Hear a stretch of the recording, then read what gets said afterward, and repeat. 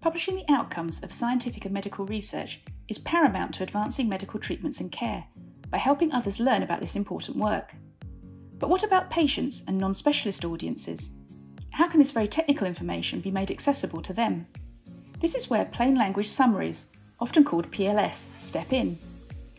By providing a summary of a published scientific article with the technical jargon removed, PLS ensure all audiences understand the literature, helping foster patient caregiver dialogues and empowering patients with knowledge about their treatment plans.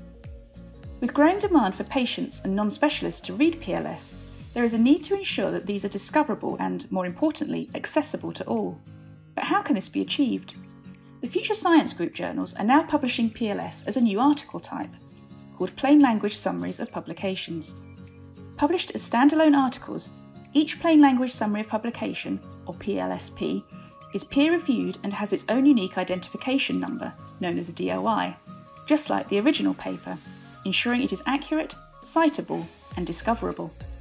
PLSP are written by authors of the original article and can include patient authors, allowing them to provide their own perspective on the work.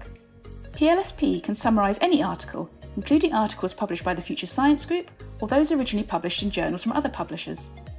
PLSP are considered acceptable secondary publications according to the ICMJE guidelines. Once published, each PLSP is made open access, allowing anyone to read the article. By sharing the PLSP across social media, as well as with relevant patient organisations and groups, we will help as many people as possible discover the PLSP.